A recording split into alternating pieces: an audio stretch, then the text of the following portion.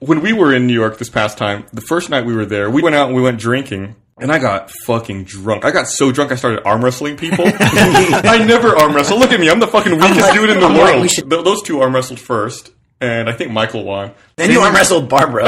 Honestly, I thought she might beat you. You just like crushed her. I was calling bullshit because Chris and I, it was close. So I was like, my arm's tired. That's not fair. And Gus is like, fucking baby, wah. So then I was like, oh, fine. And then Gus and I arm wrestled, and I ended up winning. And he's like, I have no dick.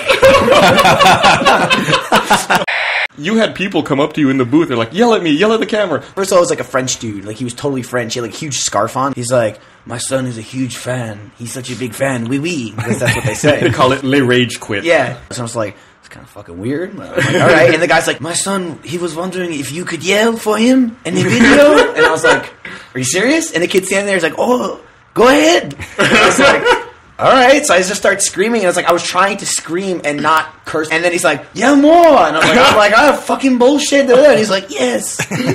Of the year.